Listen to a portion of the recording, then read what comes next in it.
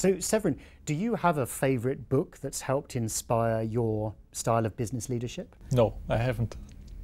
Because you don't believe in business books as uh, yeah, guides? Uh, I, I, I think you can learn a lot on the job. You learn from other leaders. You learn from your own people, actually. Um, and and uh, I, I, just think this is the much more effective way to develop your your leadership style. And I guess it's also more authentic. Um, I, I think leadership has a lot to do with credibility, being yourself, walking the talk. I just feel if you if you read it up in a book, I, I'm not sure whether, for me at least, whether this would do me any favor. Thanks.